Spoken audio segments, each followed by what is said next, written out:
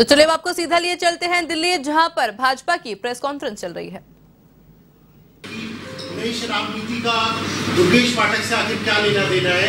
कहीं एमसीडी के चुनाव आ रहे हैं इसलिए तो उन्हें के द्वारा समन किया गया।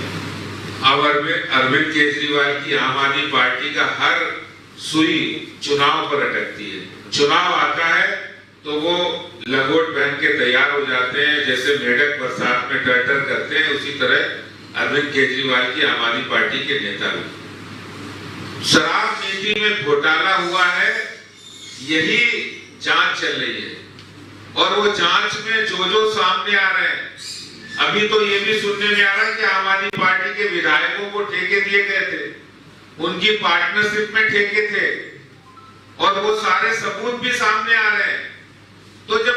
जाँच चल रही है, जाँच एजेंसी जाँच कर रही है तो उनको डर किस बात का लग रहा है? आखिर शराब की नई पॉलिसी बनाने में आपने हज़ारों करोड़ रुपए दिल्ली सरकार के राजस्व की चोरी की है, डकैती डाली